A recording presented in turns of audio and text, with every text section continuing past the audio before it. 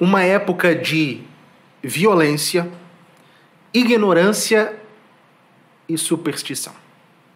A época em que a igreja mantinha as consciências sob a rédea curta do seu controle doutrinário e político, e época na qual a Europa permaneceu mergulhada por mil anos nas trevas. Essa é a ideia frequentemente veiculada, por vezes amenizada, mas em geral é essa ideia que se divulga a respeito daquele período que a posteridade chamou Idade Média.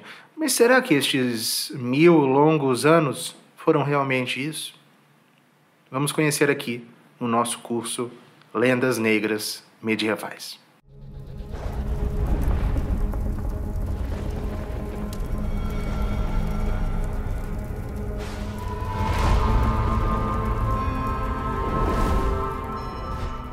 Bom, sejam bem-vindos ao curso Lendas Negras Medievais. Nós teremos quatro aulas. Nesta primeira aula, nós iremos entender se a Idade Média foi de fato a era das trevas, a Idade das Trevas, como ela tornou-se habitualmente conhecida.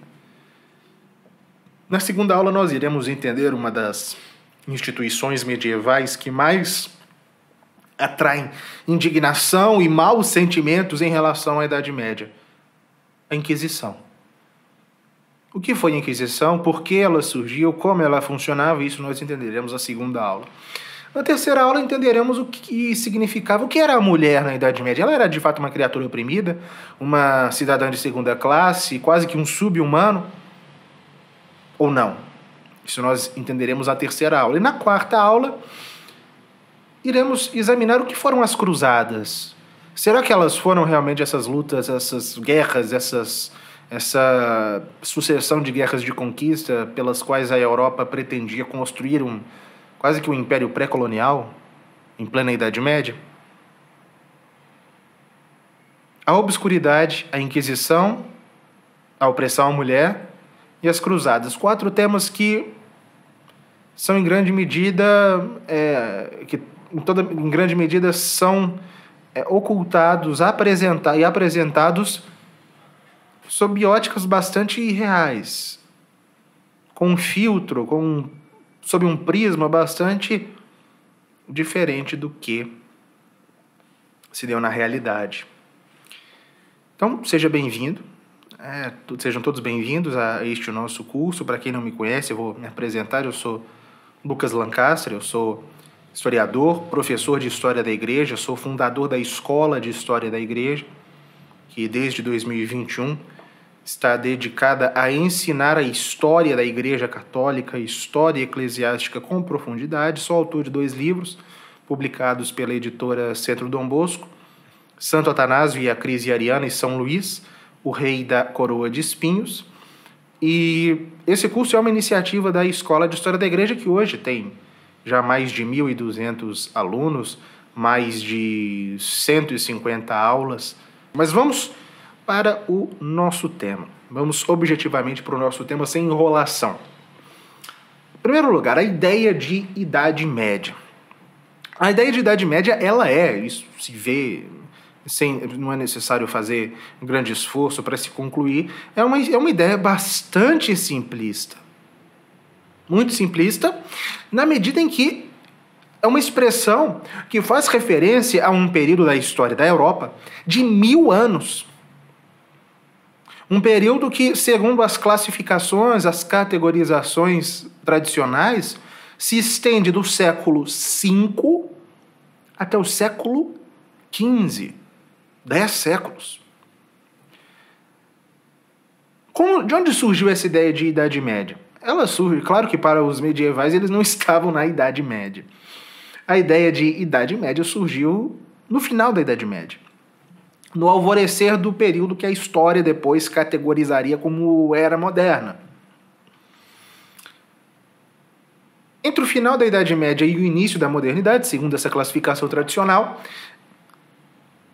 a ressurreição de uma certa cosmovisão pagã própria da antiguidade, que teria, em alguma medida, apenas dormitado na Idade Média, muitos homens imbuídos por ideias neopagãs passaram a interpretar, a entender que o período que os antecedeu, que imediatamente os antecedeu, que era os séculos 14, 13, 12, 11, enfim, era um período de é, transição entre a antiguidade, entre a idade antiga e a idade moderna. Vocês podem até ver que existe uma contraposição aí, né?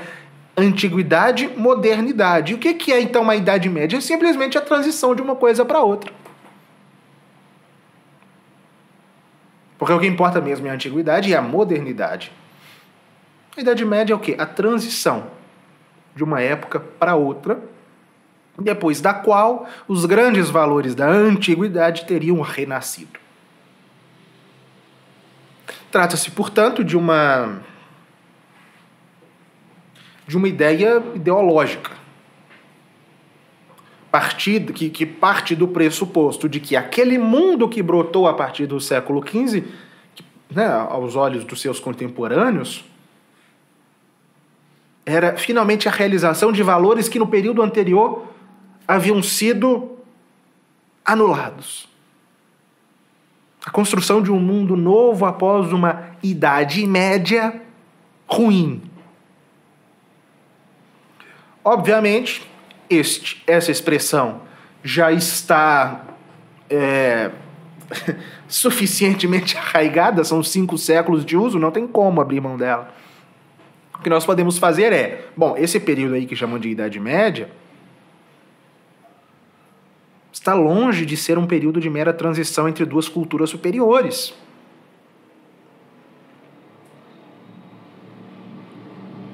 Por quê? É uma simplificação tola. Imaginem, são mil anos. As os mais variados contextos, os mais variados impérios, os mais variados estados, as mais variadas realidades culturais se sucedendo numa dinamicidade que as pessoas não imaginam que existia na Idade Média, de modo que agrupar esses mil anos como um todo uniforme é loucura. É necessário colocar as coisas no seu devido lugar, sem cair nesse tipo de simplificação, tal como a simplificação que criou a ideia de Idade das Trevas. Porque vocês verão também em vários lugares pessoas. Né? Ah, a Idade Média foi isso, a Idade Média foi aquilo, a Idade Média foi aquilo outro. Bom, por vezes, para elogiar, né? para para é, é, glorificar a Idade Média. Sim, mas houve várias idade, idades médias, vários períodos diferentes dentro desse longo período que a posteridade categorizou como um só.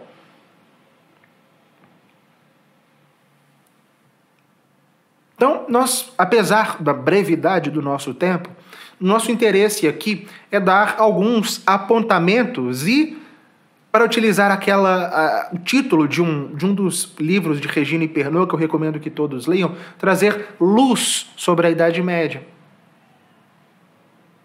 Procurando sempre situar, mostrar de qual momento histórico desses mil anos de que nós estamos, que nós estamos falando.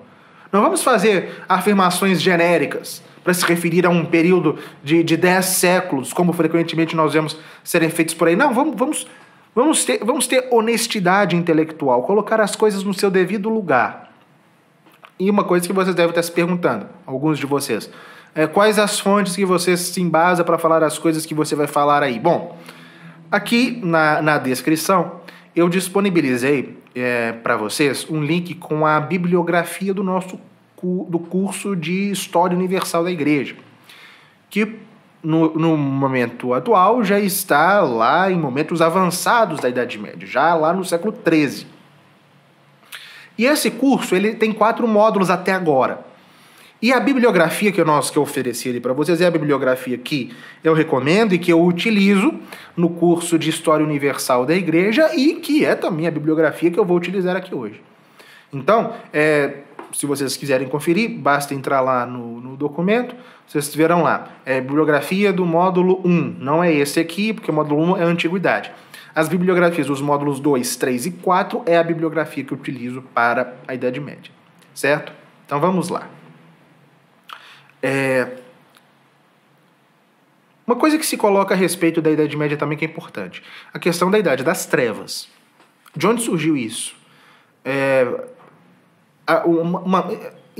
geralmente se, se provoca uma, há uma má compreensão em relação a essa expressão, século I obscuro, Idade das Trevas, por quê? Não é uma expressão imprópria, desde que você a situe dentro de um contexto e dentro de certos parâmetros. Por quê? Porque foi um cardeal da Santa Igreja, um grande historiador, talvez o grande historiador da história da Igreja, que é o cardeal Barônio, na virada do século XV, século XVI para o século XVII, que utilizou essa expressão séculum obscurum para se referir a um período da Idade Média, mas não a ela toda para se referir ao período imediatamente posterior à queda do Império Romano até mais ou menos a ascensão de Carlos Magno, ou seja, um, grosso modo, séculos 6 e 7.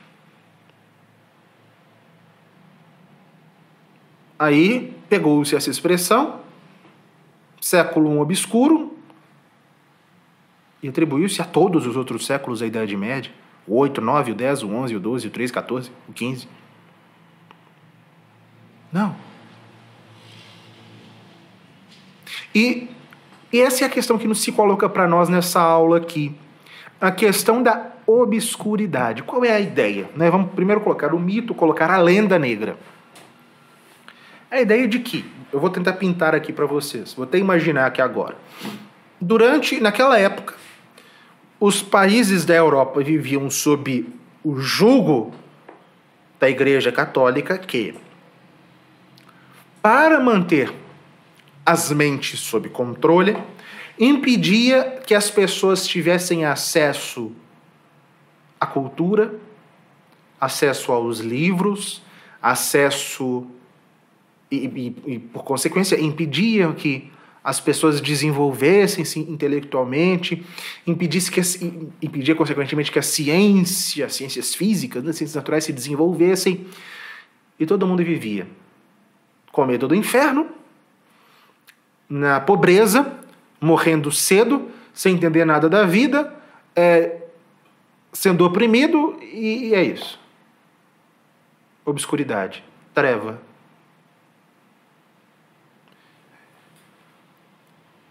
Por outro lado, essa ideia, né? Quando se confronta, quando coloca essa ideia diante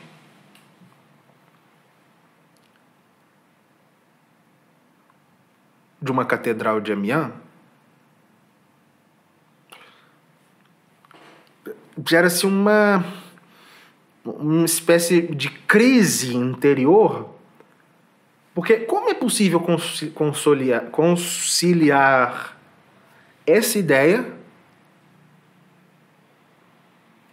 que é só uma ideia, com este edifício que existe? e que foi construído nesse período que, segundo se diz, era desse jeito. Os mitos que comumente se divulgam a respeito da Idade Média não resistem sequer a um estudo breve, mas bem fundamentado, como este que estamos acompanhando aqui. Se você quer aprofundar os seus estudos, considere se matricular em nossa Escola de História da Igreja. Você terá acesso a mais de 100 aulas apenas sobre a Idade Média. Saia da superficialidade, matricule-se pelo link no card ou na descrição.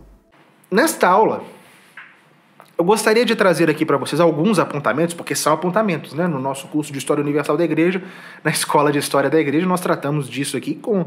O que eu vou falar aqui é o conteúdo das aulas, mas infinitamente resumido. Gostaria de trazer uma, uma luz sobre essa suposta obscuridade que, segundo se diz, existiu durante este período. Mas vocês já devem estar pensando: ah, já vem um aí falar de novo de universidade. Não, não vou falar de universidade. A universidade é a ponta do iceberg, é o final da história. Não vou nem falar disso. A universidade é lá. É tudo bem, a, a, a, Universidade de Bolonha surgiu lá no final do século XI, mas não, a, a universidade é uma realidade propriamente do século XIII. Existem universidades que surgiram antes, mas o grande modelo de universidade é a Universidade de Paris, que surgiu no final do século II, portanto, a universidade é uma coisa do século XIII.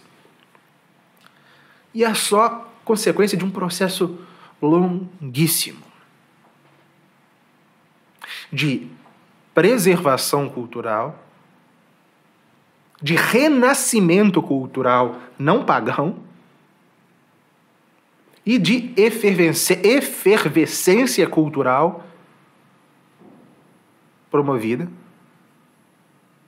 por aquela que as nações do Ocidente reconheciam como a sua mestra, que era a Igreja Católica. Ah, lá vem um católico falar, é claro que para você a Idade Média foi uma coisa boa porque você é católico. Não, vamos vamos continuar, vamos vamos tratar as coisas aqui de modo bem sereno e entender as questões é, sem partidarismos. Olhemos para o começo da Idade Média. Novamente retornando à ideia, a igreja ela deixava as pessoas na ignorância. Só que o que nós, aí, vamos, vamos voltar logo para o início. O que nós vemos logo no início é o seguinte: é uma decadência cultural existente já antes da igreja assumir as rédeas da civilização. Porque, é claro, e aqui repito, eu estou simplificando bastante, pessoal, eu não gosto disso, mas a brevidade do tempo nos, nos obriga. Bom, se considera que a Idade Média ela começa com a queda do Império Romano do Ocidente. É um marco, né? 476. Só que o, a queda do Império Romano do Ocidente não foi simplesmente a substituição de um império por reinos bárbaros. Não. A queda do Império Romano do Ocidente teve como causas, para além das invasões dos bárbaros vindos do norte, uma decadência eh, civilizacional dentro da, do próprio Império Romano que remontava ao final do século II. O Império Romano era uma civilização realmente muito potente que, apesar da crise, foi sobrevivendo, passou por uma crise muito grande no século III. No século IV se reergueu, graças principalmente as reformas de Diocleciano, de Constantino, depois de Teodósio, adotou o cristianismo, o catolicismo no final do século IV, mas a decadência ele era tão grande que, não, que o Império Romano não pôde sobreviver por tempo, é, por muito mais tempo. Isso, é, as migrações bárbaras colaboraram, enfim. Ponto é que o que se vê desde o século III, pelo menos, é uma decadência muito grande dentro do Império Romano e mesmo uma decadência cultural. O Império Romano que caiu, a antiguidade que chegou ao fim naquele marco, não é uma antiguidade clássica. Mas é a antiguidade, a antiguidade que, que depois se chamou antiguidade tardia, uma antiguidade bastante decadente, inclusive em nível cultural. Não se produzia nem, em, nem, nem nas belas artes, e nem na literatura, e nem nas grandes ciências especulativas, o que se produzia antes, ao contrário. E as grandes mentes, as últimas grandes mentes que a civilização romana pôde produzir, não apenas né, se tornaram católicas, como passaram a integrar o clero católico.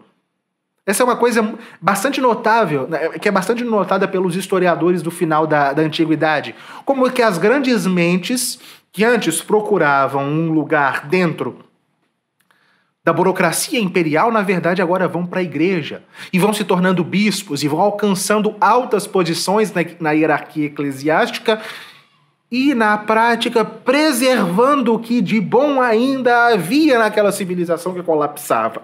O fato é que, o que nos importa aqui logo de início, o mundo que, que, que chega ao fim, quando do início da Idade Média, já é um mundo de decadência cultural, que não tem nada a ver com a igreja ou melhor dizendo, que não, que não é culpa da igreja de modo algum. E esse momento de queda do século V, se nós quisermos alguns, alguns, alguns, algumas balizas, né? o ano de 395, a divisão do Império Romano do Ocidente, 406, a grande travessia do rio Reno pelas tribos germânicas, aquela grande travessia, travessia de, de 31 de dezembro de 406, o saque de Roma pelos visigodos sob Alarico em 410 são alguns marcos que vão anunciando o fim que se consuma em 476 com a última, com a, com a deposição do último imperador romano. Este século V é um século de decadência em todos os aspectos, não apenas cultural, mas decadência civilizacional, política, econômica, de caos social, e, enfim. E uma, uma época de substituição que dá lugar a uma época ainda mais tenebrosa. Se estabelecem na Europa Ocidental, no antigo Império Romano do Ocidente, povos bárbaros politicamente ainda muito precários, com uma carga cultural muito baixa e cujos costumes, é, os costumes dos romanos já estavam bastante decadentes, vieram os maus costumes, principalmente de violência próprios dos bárbaros. O, a consequência será, em poucas décadas, uma, uma sociedade bastante barbarizada. A sociedade do século VI, do século VII, é uma sociedade muito barbarizada. E nesse processo, qual foi a única civilização que. Qual foi a única instituição que se manteve de pé? A Igreja Católica. Conheça-se na escola de história da igreja tem muitas aulas disso. Conheça-se o que foi aquele, aquela época de decadência e veja-se como os bispos da igreja católica. São Nicásio de Rans, São Cesário de Ar, São Gregório de Tours, Santo An de Rouen, São Máximo de Turim, São Pedro Crisólogo de Ravenna. São estes os homens que sustentam a civilização enquanto tudo desmorona. Que mantêm a ordem, que organizam, que, que governam as cidades ainda existentes, que protegem o povo, são os bispos. Bispos estes que, cumprindo a missão própria da igreja, lançar-se-ão em seguida para evangelizar esses povos que ali se estabeleceram.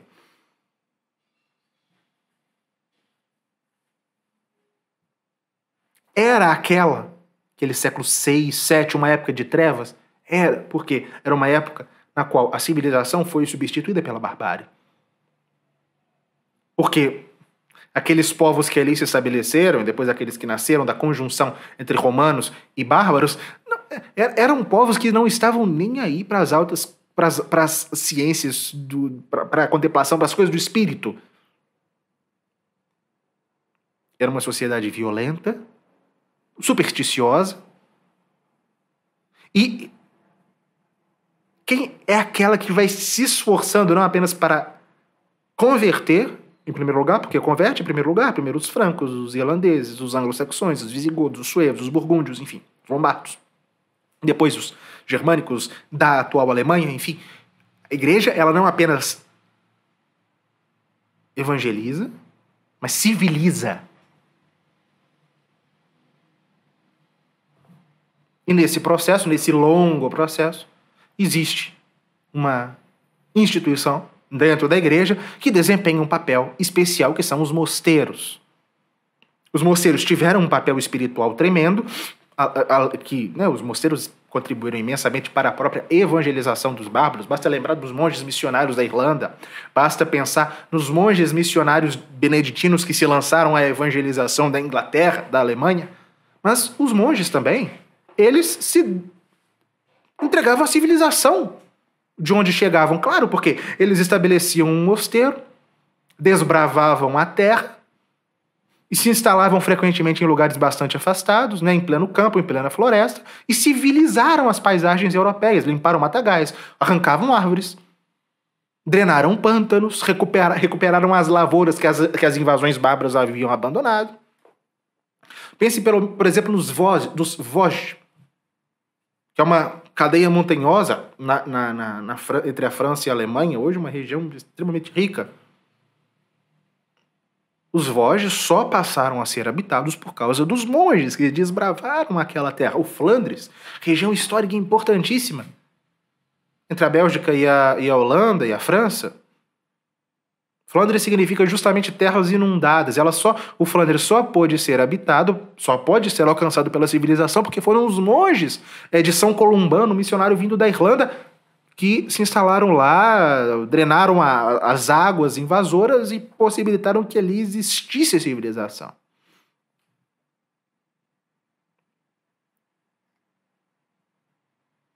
São incontáveis as cidades da Europa Ocidental que surgiram em torno das paróquias rurais, que eram aquelas paróquias criadas pelos bispados em regiões rurais, mas, sobretudo, que surgiram em torno de um mosteiro. Algumas dezenas de milhares de cidades na Inglaterra, na Alemanha, na França, na Itália, surgiram em torno de um mosteiro, claro. Um mosteiro ali se estabelecia, uma comunidade de monges se estabelecia, o povo católico das cercanias vinha se, instala, se instalava ali sob a proteção do mosteiro, junto ao mosteiro, para se beneficiar espiritualmente e até materialmente dele. E ali muitas cidades se desenvolveram. E para o que nos importa aqui, durante esses tempos bárbaros, os mosteiros tiveram um papel é, intelectual especialíssimo, que é o papel de preservar a cultura. Neste começo da Idade Média, é claro, não houve grandes produções do espírito, não houve. Nós até veremos que houve sim. Perdão, houve grandes produções do espírito, sim, mas nada que se compare, por exemplo, ao que será os séculos 12 e 13. Por quê? Porque ainda se trata, se trata essa de uma época de preservação, não se trata de uma época de reprodução. Se trata de uma época de preservar o que a antiguidade clássica e a antiguidade cristã, os primeiros séculos de história da igreja, com os grandes padres da igreja, tudo aquilo que havia sido produzido pela antiguidade pagã e cristã precisava ser preservado do furacão da barbárie. E quem fez isso? Os monges. Aquela célebre imagem que se impõe, né? Uma coisa boa da Idade Média, cuja imagem eu acho que se impôs às mentes. A ideia do monge que copia, né? Os monges copistas ou amanuenses, né? Que vem da expressão em latim ad mano, a mão, que esses homens que durante séculos e séculos, numa época em que não havia prensa, né, estavam ali copiando os manuscritos para transmiti-los à posteridade. Os mosteiros da Inglaterra, os mosteiros da Inglaterra anglo-saxã, que lá chegaram, graças ao impulso do Papa São Gregório Magno, que enviou em 593, acho, 4, Santo Agostinho da Cantuária e seu grupo de 40 monges para evangelizar a Inglaterra, aqueles mosteiros lá surgidos, né, é, que multiplicaram as escolas de, de calígrafos e que posteriormente, graças ao Renascimento carolíngio, viria para o continente. É, então, os monges, eles, eles não apenas é, copiaram, porque o papel dos monges enquanto copistas ele, ele foi importante, mas a sua a contribuição civilizacional dos mosteiros naquele comecinho de Idade Média foi ultrapassou isso de simplesmente copiar algo que já foi é, é notável, mas Chateaubriand, no começo do século XIX, dizia o seguinte: os conventos se converteram numa espécie de fortaleza em que a civilização se abrigava debaixo da bandeira de um santo. Ali se conservou o cultivo da alta inteligência. Naquele mundo ao entorno, mundo barbarizado, repito, de conflito, de desordem, os únicos lugares em que se pensava nas altas coisas do espírito, da contemplação das verdades, tanto naturais quanto sobrenaturais, eram os mosteiros. Né? Ali no século VI, no sul da Itália, Cassiodoro, do qual nós falaremos daqui a pouco, ele incentivava os seus monges né, a se dedicarem à vida do espírito. A vida do espírito aqui não é apenas a a vida espiritual propriamente dita, mas espírito aqui enquanto potências superiores, a contemplação da verdade, o estudo também, né? É, São Cesário de Arles, um importantíssimo bispo francês do século VI, ele estabeleceu para as religiosas da sua diocese pelo menos duas horas e meia de leitura por dia. Calcula-se que um beneditino nos tempos bárbaros, na era das trevas, que é o começo da Idade Média, ele dispunha para sua formação intelectual 1.265 horas por ano, o que permitia que ele devorasse pelo menos 8 mil livros em uma vida monástica de, sei lá, de 50 anos. 8 mil livros que claramente ele não tinha acesso, porque os livros eram caros. Eram livros que ele repetia, que ele lia de novo, lia de novo, lia de novo, até que sei lá, se ele lisse 100 livros durante a vida, ele decorava os 100 livros, porque aqueles livros eram lidos e lidos e meditados e meditados e meditados, e aquela ciência se de fato arraigava na, no seu espírito. E o ensino? Bom, o que havia de ensino nessa época, um ensino razoavelmente sério, era aquilo que era ministrado no, nos mosteiros. É, Christopher Dawson diz que, ao longo do tempo, os mosteiros produziram todos os frutos da alta cultura, arte, música e erudição, e transmitiu-se via atividade educacional para a sociedade ao redor. De fato, do século 7 ao 10, os mosteiros foram a única força educacional eficaz que sobreviveu no mundo ocidental. Fecha aspas. E como eu disse, é, eu falei né, que eu tinha dito que não houve grandes obras nesse período, mas houve, né? Eu corrigi, mas houve. Se nós observarmos alguns homens que. Todos os homens da igreja, todos os que eu vou falar aqui eram clérigos, a exceção de um. É, homens que, na barbárie que os cercava, ainda, ainda continuavam amando as ciências, amando o conhecimento. E se dedicavam, sobretudo, a preservá-lo. Vejamos, em primeiro lugar, o inigualável exemplo de Boécio. Este personagem que viveu na, Itália, na Itália ostrogoda, que foi, que esteve a serviço do rei ostrogodo Teodorico, que em primeiro momento era tolerante com os católicos, mas em um segundo momento voltou-se contra eles, entre os quais contra Boécio, seu antigo protegido, lançou na prisão, ele, ele morreu na prisão. E, e quem era Boécio? Né? Boécio era um homem que, naquela época de barbárie, queria ele que não apenas atingiu largos conhecimentos filosóficos, mas um homem que queria restaurar o ensino da filosofia no Ocidente bárbaro.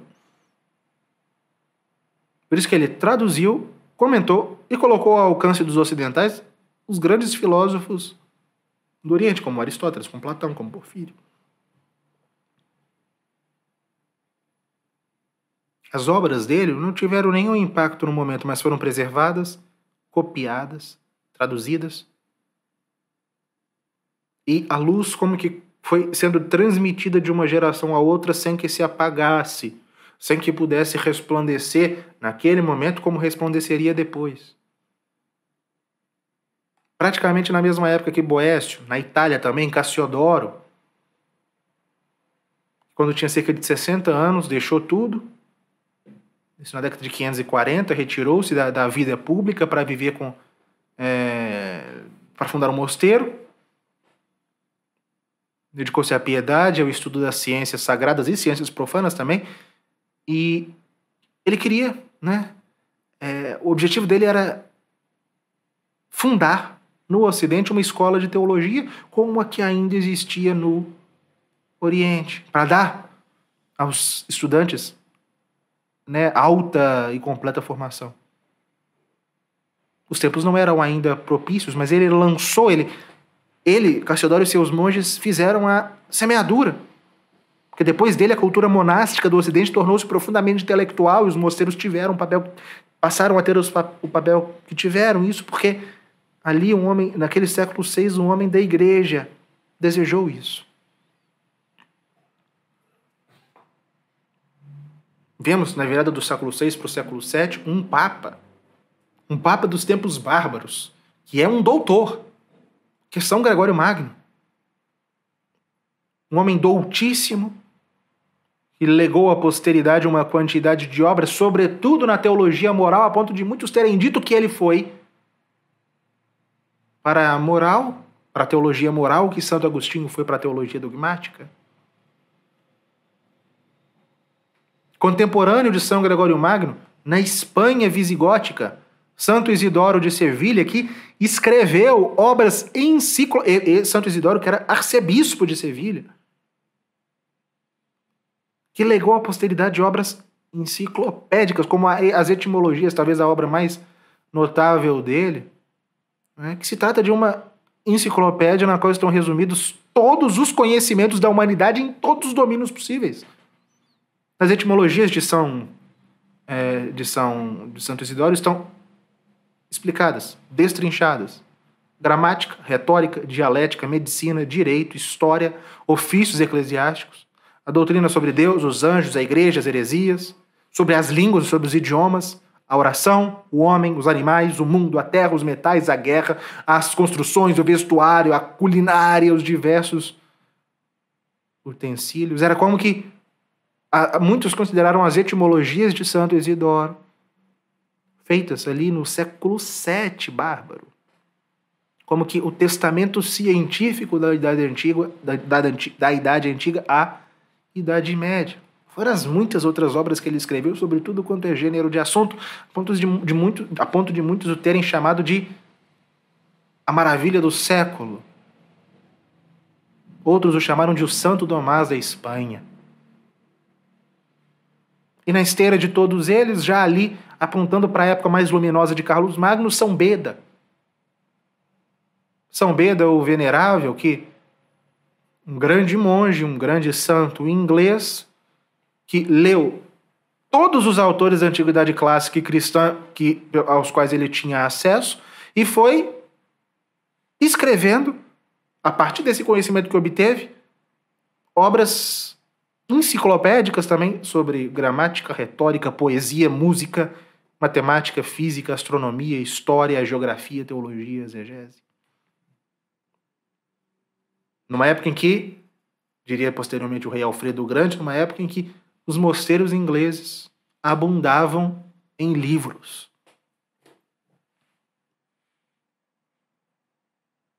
Esse primeiro, esses primeiros séculos da Idade Média, de fato, foram, como diz o cardeal Barônio, uma idade das trevas em razão da violência, em razão das, das desordens políticas, em razão da decadência moral, mas também um período de preparação e de preservação de tudo que de bom havia sido legado pela antiguidade. E esses homens que eu citei aqui, pessoal, não eram pessoas é, isoladas, ou melhor dizendo, é, não eram indivíduos sem importância. Não. Boécio era o principal conselheiro do rei Ostrogodo. São Gregório Magno foi papa. Santo Isidoro de Sevilha foi arcebispo de Sevilha, um dos mais importantes homens da Espanha visigótica. São Beda tinha uma influência sem, sem igual entre na igreja inglesa. Ou seja, são grandes homens, grandes até perante o mundo. Né? O que esses homens, o que esses mestres representaram foi a salvaguarda da civilização e eles conseguiram, estes que eram homens da igreja, lançar as bases para qual se, sobre as quais se estruturaria toda a cultura cristã ocidental posterior.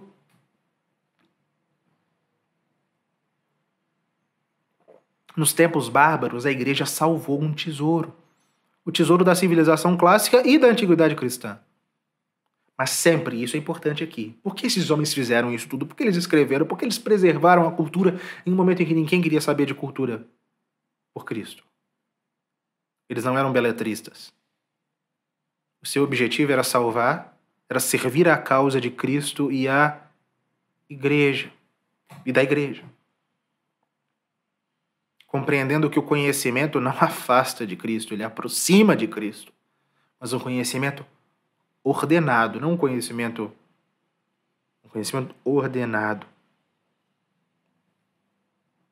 Tudo isso eclode no final do século VIII com aquilo que a posteridade chamou de um primeiro renascimento diferente do renascimento pagão do século XV, o renascimento carolíngio, depois de muitos séculos de esforços por parte da Igreja, alcançou-se no século VIII, graças a, aquele, ao rei dos francos, ao qual a Igreja posteriormente coroaria imperador do Ocidente, Carlos Magno, uma unidade política e cultural e de fé no Ocidente que foi, num período de, de grandes dificuldades, um, interlúdio bastante luminoso, que é o tempo de Carlos Magno.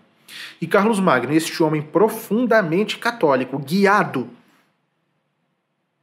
guiado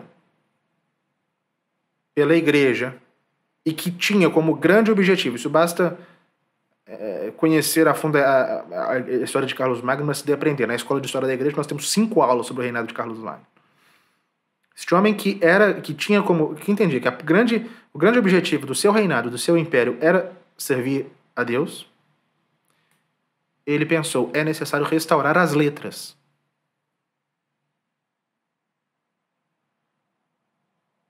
E para isso ele reuniu, no seu palácio em Aachen, os grandes, as grandes mentes daquele tempo que, sob a presidência de um grande monge inglês, Alcuino de York, que fora discípulo de um discípulo de São Beda e que havia recebido através de São Beda todo esse conhecimento legado pela antiguidade, preservado durante os primeiros séculos da Idade Média, Alcuino, que foi, na expressão de Rui Afonso da Costa Nunes, um mentor intelectual da Europa no século VIII, Carlos Magno pôs-se a restaurar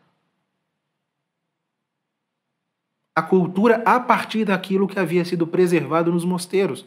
Reuniu na sua escola palatina, na escola do seu palácio em Aachen, as grandes mentes do seu tempo, todos eles, à exceção de um homens do clero, à exceção de Aginhardo, eram todos homens do clero, né? Agobardo, Teodulfo, Dungal, Gimberto, é, todos, é, Paulino de Aquileia, Pedro de Pisa, Paulo Diácono, todos homens, todos monges ou, ou sacerdotes, para fazer com que todo aquele conhecimento que, que fora preservado fosse é, trazido à tona.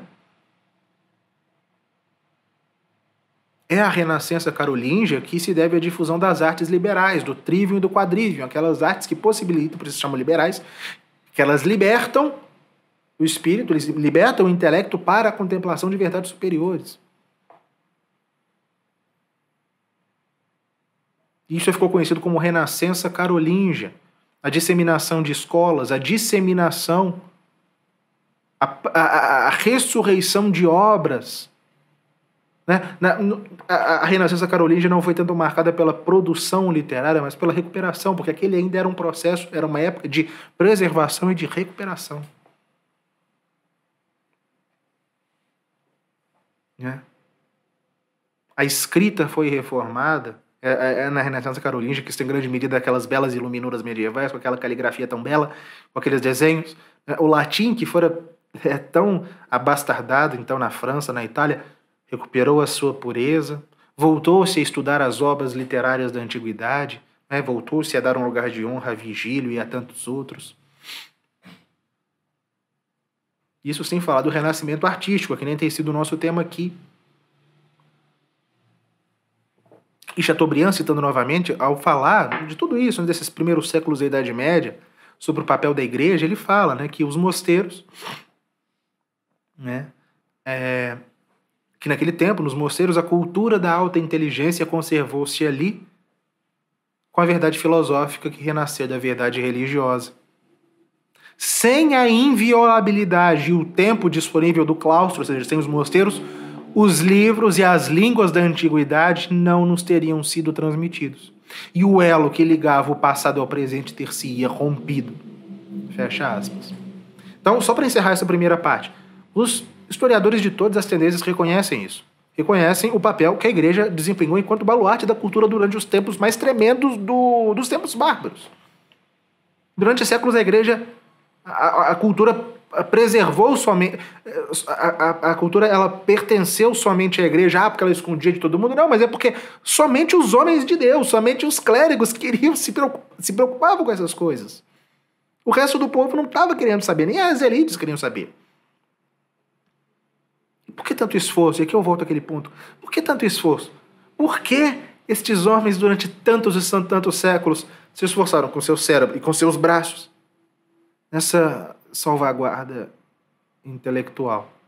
Não se vê nesses homens uma, uma satisfação pessoal, mas a glória de Deus. É isso que eles queriam.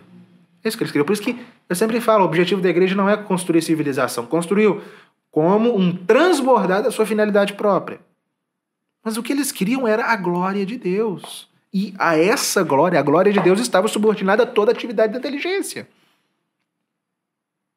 A cultura submetida à religião, e isso é muito próprio da Idade Média. Porque as coisas eram colocadas no seu devido lugar.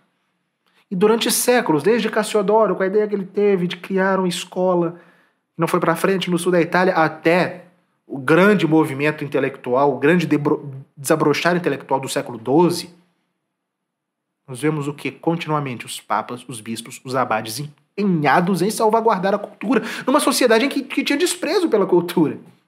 Você gostaria de estudar história da igreja, mas acha que não tem tempo?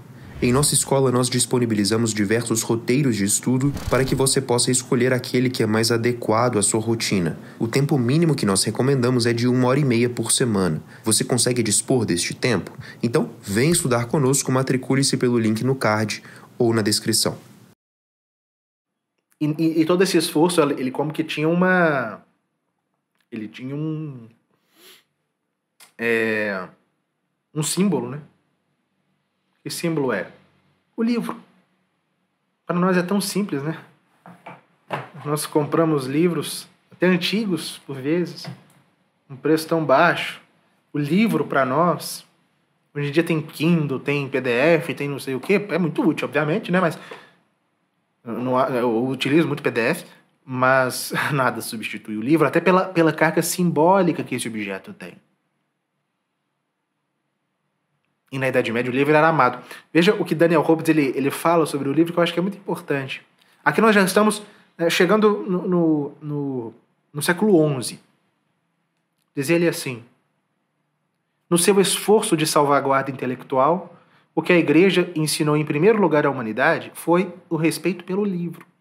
Amava-se, venerava-se e rodeava-se de zelosos cuidados esse, esse pesado caderno de pergaminho que continha a palavra de Deus ou de um dos seus fiéis, e que, aliás, era raro e que custava caro. Uma biblioteca de 900 manuscritos era considerada imensa e causava espanto. Morre desonrado quem não ama os livros, dizia um provérbio. Um claustro sem livros é um castelo sem arsenal, dizia São Bernardo. As preciosas obras andavam de convento em convento, para que pudessem ser copiadas e, no período negro das invasões normandas, no tempo, em tempos bárbaros, que, os tempos que sucederam a, a Carlos Magno, né, os vikings, no período negro das invasões normandas, a perda das bibliotecas era um, era um dos desastres mais cruelmente sentidos. A imagem do monge copista, debruçado sobre a sua escrivaninha ao longo de toda a jornada, caligrafando ou iluminando as páginas de um evangelho onde o saltério é um daqueles que é uma daquelas aquelas imagens que se fixam em todas as memórias. Fecha aspas. Né? É, é a, essa multidão de trabalhadores anônimos, esses copistas, que nós devemos o conhecimento que temos de Santo Agostinho, de São Jerônimo, de Santo Ambrósio, mas também de Virgílio, de Virgílio, de Terêncio, de Ovídio, de Horácio, que nos transmitiram tudo. E este conhecimento, né, é, quando a gente fala de conhecimento fechado nos mosteiros, vocês podem pensar que é uma espécie de conhecimento é, que é uma espécie de doutrina esotérica. Não, não era doutrina esotérica, era é, é simplesmente quando nós falamos que eles estavam fechados nos, nos mosteiros, eu, eu estou querendo falar, é, fazer referência a uma, a uma realidade até física, porque fora dos mosteiros não, não se queria cultivar as coisas do espírito. Ali, nos mosteiros, eles eram preservados. Quando dentre os monges saíam bispos, saía, né, homens do, do clero secular, é, isso também era, era levado para a vida, para a vida secular também, mas era ali nos mosteiros em aquilo, o local em que aquilo foi preservado durante séculos. Até o grande desabrochar a partir do final do século XI. Por quê? O século XI é não apenas um momento de desabrochar intelectual e cultural, mas também o desabrochar da autêntica civilização cristã da Idade Média, que é a cristandade. No século XI e início do século XII, estamos já distantes dos tempos de Boécio e de Cassiodoro. As, a igreja ela já converteu as nações do Ocidente, é, ela, as instituições feudais já é, se cristalizaram suficientemente. A igreja já, ao longo de todo o século XI, empreendeu um longo processo de pacificação da Europa. É, o comércio renasce, é, a produção agrícola atinge um grau é, muito alto de desenvolvimento. E tanto do ponto de vista material quanto é, moral, a, a, civilização cristã ela atinge um grau de maturidade que possibilita aquilo que os historiadores, como Charles Hackley, chama de renascimento do século XII. Interessante quando se fala de renascimento do século XII, porque se, quando se pensa em renascimento, pensa-se imediatamente em renascimento do século XV, renascimento pagão. E é, é Regine Pernod, no seu mito sobre a Idade Média, que pergunta-se, né? Que diferente. Porque se diferencia, melhor dizendo, se identifica o renascimento lá da modernidade com o renascimento do, da, da, da, cultura antiga, da cultura clássica. Né? Se nós virmos na Idade Média, se percebe que os medievais também tinham um grande amor pelos clássicos. Tanto os filósofos quanto é, os, os gramáticos, os retóricos e também os literatos. O que diferencia um amor do outro? Regine Pernod explica. É, na modernidade, o que os renascentistas querem, na verdade, é imitar hum, até o máximo que se puder os antigos. Os antigos eles se convertem num modelo pronto que deve ser reproduzido, imitado, emulado e de modo idêntico ao que foi ao que eles produziram. Os medievais não viam assim. Os medievais amavam os antigos, mas dizia grande Bernardo de Chartres entre, entre os séculos 11 e 12, nós, do nosso tempo, Somos anões nos ombros de gigantes. Essa expressão é dele. Nós podemos ver mais longe do que eles, mas porque estamos em seus ombros. Essa é a ideia que os medievais tinham dos grandes mestres do passado gigantes, em cujos ombros eles estavam, mas podiam ver mais longe que eles, até porque tinham algo que eles não tinham, que era os dom, que era a graça, que era a, a, a virtude sobrenatural da fé. Então, o medieval ele também ama o, uh, o antigo, o clássico, mas sabe que pode ver mais longe do que ele por causa da fé. Então, o, o século XII ele é o momento de ir romper por uma série de fatores. Temos um, duas aulas sobre o renascimento do século XII, de transbordar daquela, de toda aquela cultura que for acalentada, preservada e reproduzida, e agora não se trata mais no tempo de simplesmente reproduzir, mas também se produz a partir dela. E o centro de produção da cultura naquele momento eram justamente as escolas que a igreja fundava, por isso pensamento escolástico, o pensamento que era gestado, germinado, germinado, gestado e é, produzido ali nas escolas. Das escolas, é bom pontuar uma coisa. É, tem, tem uma ideia que é, que é comumente. se existe uma ideia que é admitida por todo mundo, é a da ignorância na Idade Média a ignorância das massas.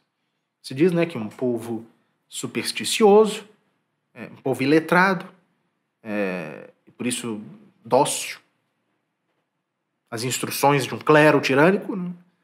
é, é um povo mais fácil de, é, de controlar. Mas, mas, não é isso que se vê na realidade. É, e se querem as referências para isso, a, a, a, as fontes, como eu disse, estão no, no arquivo aqui abaixo. O primeiro ponto, as pessoas eram, em sua maioria, analfabetas. Só que é muito próprio da nossa pedagogia, da nossa cosmovisão, identificar pedagogia, identificar conhecimento do alfabeto com instrução. Por quê? Porque no nosso tempo, o livro, o papel é muito acessível. Hoje nós utilizamos muito mais para aprender a, a o sentido da visão. Enquanto para aprender os medievais utilizavam muito mais a audição, a leitura do mestre. Na Idade Média, o livro era raro, o livro era custoso, o ouvido desempenhava um papel muito mais importante para a educação do que visão. Um grande exemplo que um exemplo muito interessante que Regina Pernod cita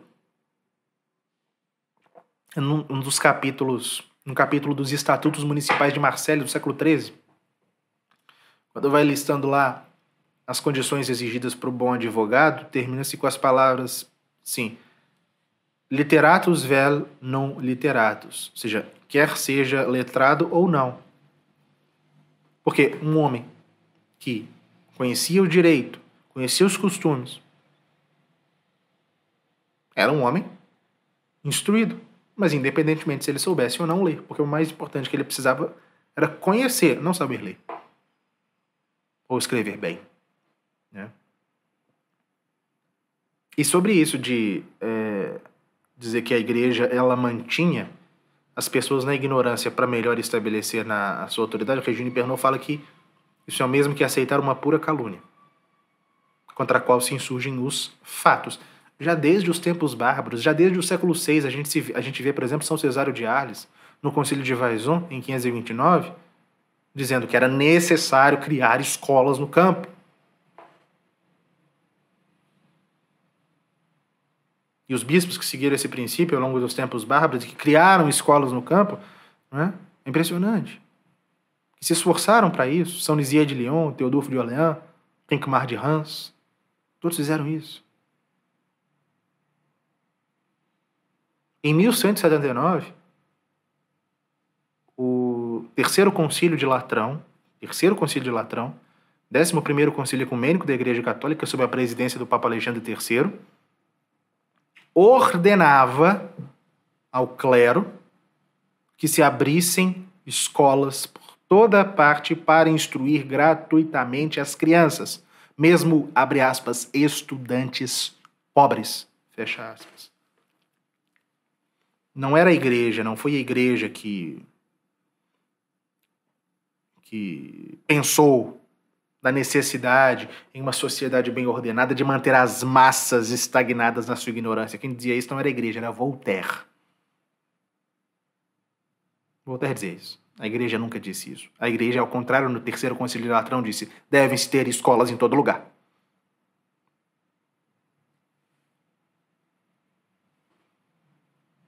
Como era ministrado o ensino na, na cristandade, que é esse momento da Idade Média que nos importa aqui agora, nesse momento da aula? eram haviam as escolas é, paroquiais, que eram aquelas escolas mais locais, as escolas monásticas, que remontavam a séculos anteriores, elas foram deixando de ter importância para assumir uma importância cada vez maior as escolas episcopais, as escolas das catedrais e das, das chamadas igrejas colegiadas, ou seja, aquelas igrejas que tinham é, capítulos de cônegos. No século XII, final do século XII, na França existiam pelo menos 50 escolas episcopais que eram como que o prelúdio, não, na verdade prelúdio não, já eram escolas, apesar do nome escola, é, de superior.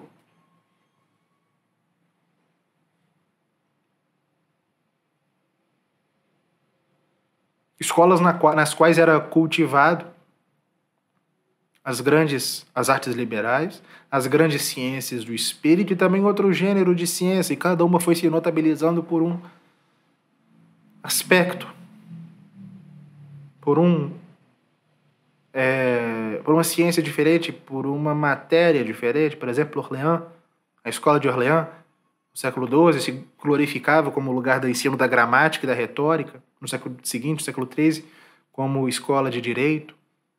Bolonha se consagrou, na opinião europeia, como escola de direito. As escolas de Salerno, na Itália, e Montpellier, na França, se notabilizaram pela medicina. Chartres, a escola de Chartres, grande glória no século XIII, no século XII, era a cidade do quadrivium, dos estudos científicos, sobretudo da matemática. Durante ao longo de todo o século XII, as escolas de, as escolas de Paris né, foram se firmando como as escolas da dialética e da teologia. E não apenas na França, na Itália, na Inglaterra, na Alemanha, na Espanha, em Portugal. A igreja fundava essas grandes escolas que eram o cadinho no qual todo conhecimento que fora preservado durante séculos eclodia, produzia, se, se reproduzia e alcançava um patamar de conhecimento, de uma amplitude até então não alcançado. E como eu disse, né, o método de pensamento e de ensino que floresceu nessas escolas ficou conhecido como escolástica. os grandes mestres escolásticos eram os grandes mestres dessas grandes escolas episcopais do século XII, que darão lugar, a partir do final do século XII, às universidades. Né? Elas gerarão as universidades, as grandes universidades, que são simplesmente a. a vocês podem ver o. É, última consequência desse processo muito mais longo, que por vezes né, nós vemos a, as escolas do século XII eram em grandes aspectos muito superiores às universidades que se, se que virão depois. Então, frequentemente se diz, ah, a igreja é muito boa, a igreja fundou as universidades. Gente, isso é o final da história. A igreja, ela preservou tudo que de bom havia sido legado pela civilização antiga e fez florescer e alcançar um grau de desenvolvimento intelectual como nunca a humanidade havia alcançado nos séculos 12 e 13.